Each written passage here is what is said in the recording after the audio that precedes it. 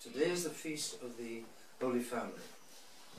Uh, because it's obviously within striking distance of Christmas, and the, the, the gospel today is of the finding is the is the fifth joyful mystery of the Holy Rosary, the finding of the child Jesus in the temple when he was twelve years old.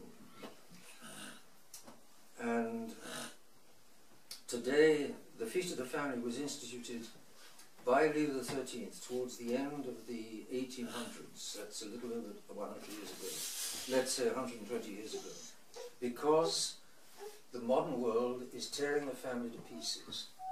The modern world has, ever since the outbreak of Protestantism in particular, the modern world has been making war on God. God designed the family, God wants the family, God designs human beings to come into existence inside the family. A human being needs family to become a human being. He needs his biological mother and his biological father. And he needs his biological mother and his biological father to stick together. And if they don't stick together, or if one of them walks out of the home, uh, it, the child feels a deep injustice, and he's basically right. The child gives a lot to his parents because he's close to God. There's an innocence there which is a great joy for the parents as long as the parents don't treat the child as a toy, but there is a great joy that comes to parents from children, and in return the parents have to give children care and attention and a home in which to live and grow. And that's the family as God wishes it. Uh, it needs a man to be the father, and it needs a woman to be the mother. The need to say such things? Yes, because our sick, crazy, and stupid world is pretending that two fathers can do it, or two, two, two men can do it, or two women can do it. They can't. There needs to be a refuge of sinners in the family, which is the mother, and there needs to be a father who is the source of justice and reason, and that's going to be the, that, that's going to be the man. The man and the woman complement one another. The father and the mother complement one another. These things are ancient common sense. But our modern world is so clever, so technological, so scientific, so advanced, so superior to all the peasant ages that ever went before. We are no longer peasants, we are. We are superior to peasants. Ah, we are more proud, blind and stupid than ever any peasants were. That's the state of modern man. And he thinks he, he thinks he's so wonderful and he's deliberately washing out his common sense. You see it going on in the newspapers, the television, the vile media all the time. The universities, all of them are teaching how man and woman are as interchangeable as the wheels on a motor car. It's absolutely false. God gives to the man a certain part to play, and he gives to the woman a certain part to play. You can best sum it up by saying the man is meant to be the head and the woman is meant to be the heart. How can a human being exist without both head and heart? Both are absolutely necessary, but they have completely different parts to play. They complement one another. Ancient common sense, and which just keeps coming out in human nature. The women keep on preferring staying at home and looking after things at home than going out to work. It's, their, it's a natural instinct the way they're taught today, they want to go out to work and fight in the, news, in the, in the workplace just like men, and they want to fight with the men and prove they're equal and superior. Heaven help us from such women in the workplace. But if they want to push, the, if they push their way into the workplace and impose themselves, it's partly because the men don't want babies. And if they don't want babies, they don't want women are really for. And the women are going to be frustrated. The women learn not to want babies in this crazy sick world. But babies are what they're for. Family is what the woman is for. The mother is for. Oh my. Oh my. There is so much ancient sense, good sense to relearn today. However, so the church, the church instituted, Leo XIII instituted this feast to make Catholics think about the part of Joseph, Mary and Jesus in the Holy Family. And for instance, think of this, it's, it's, it's obvious. of, the, of these three, Jesus, Mary, and Joseph, who is the highest in value and in worth? Obviously Jesus, because he's not only a human being, he's also God. This, this divine person in the human nature is a divine person, he is God. He's superior to Mary and Joseph by, by a long, long, long way, infinite, because he's God and they aren't. Between Mary and Joseph, Mary is superior to Joseph because, because she is conceived immaculately and Joseph isn't. Joseph was conceived in original sin. Therefore, as to worth, is Jesus number one, Mary number two, Joseph number three. But when the, fun, the when we watch the Holy Family functioning, what do we see? We see Jesus obeying, Jesus who's the highest, obeying Mary and Joseph. We know that. We know that from today's gospel.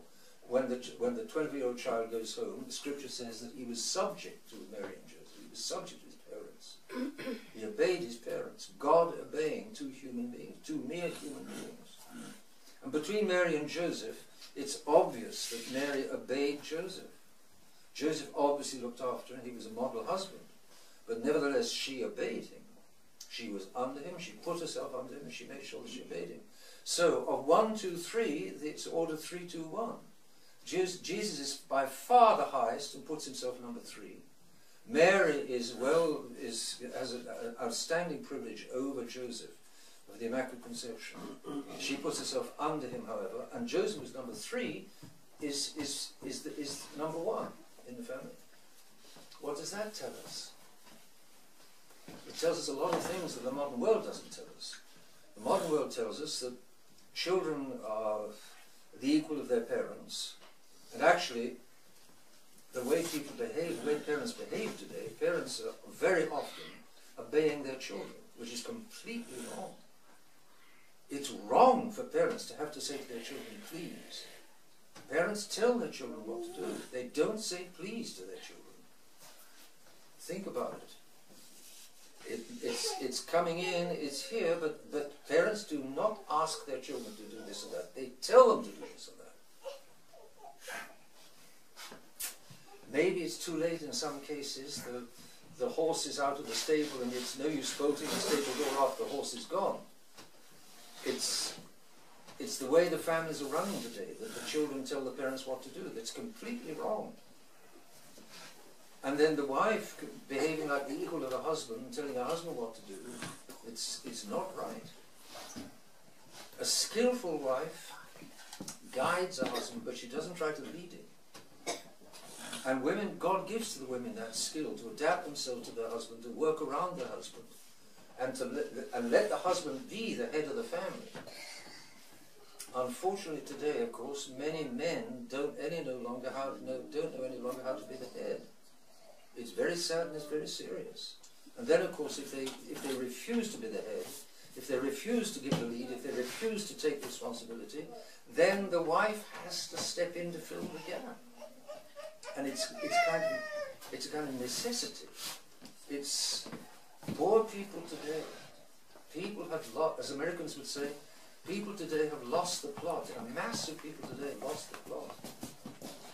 They've forgotten how God designed the family. They've forgotten how God designed man and woman. They don't want to remember how God designed man and woman. They don't want to remember how God designed parents and children. They don't want to construct their families on the model that God gave of the Holy Family. They want to construct their families on a completely different model. And what's the result? The result is man on man marriage and woman on woman marriage. As though that, that's what the governments are now pushing through. And that's the logical result. If you if you if the woman insists on behaving the, the equal of the man, and the man insists on not being the head, well, the man is going to unman himself and the woman is going to unwoman herself. And if the women are no longer women, and the men are no longer manly, then why shouldn't they? Man or man, or woman or woman? Because at least in that case there's no danger of children. No danger of children. What did I just hear myself saying? But that's it. We don't want children. And the birth rate's collapsing in, in, one, in all of the European nations. These supposedly leading nations of the world giving an absolutely disgraceful example to the entire world. Yes, the, the European nations should be leading, but they're not. Men should be leading, they're not. Catholics should be leading, they're not. The world is completely undone because the, the Catholics have lost the plot. Who is going to show the way to the rest of humanity if it's not those people, to whom, those of us, to whom God has given the faith? It's, it's, it's for Catholics to get their act together, as as Americans say, to get their act, pull themselves together, as English would say. The Catholics have got to pull themselves together and teach the whole world again how a family should function. Oh my, we are in great trouble. We're in great trouble.